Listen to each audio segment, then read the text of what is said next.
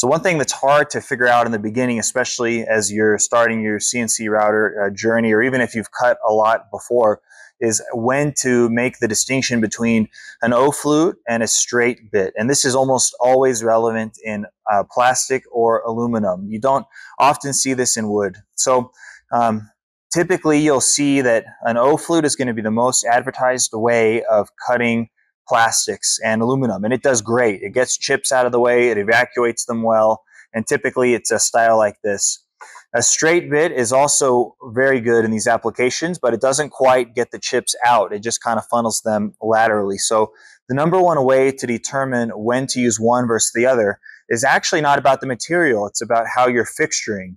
If you've got a lot of suction or maybe clamps or you're fixturing really well, then the O flute is almost always going to be a better option. Where the straight tool starts to win out over that O flute is if you have a situation where you need to try to create as minimal amount of vacuum um, loss on that piece, or maybe you've just got um, your piece is held down by tape or something like that, the straight tool can be a fairly good option because it's not actually ripping out or, or funneling upward. It's funneling everything side to side. So again, O-flute would be really good if you've got a really good way of holding the part. And if you've got maybe not so good um, fixturing, then a really good method would be this straight bit here.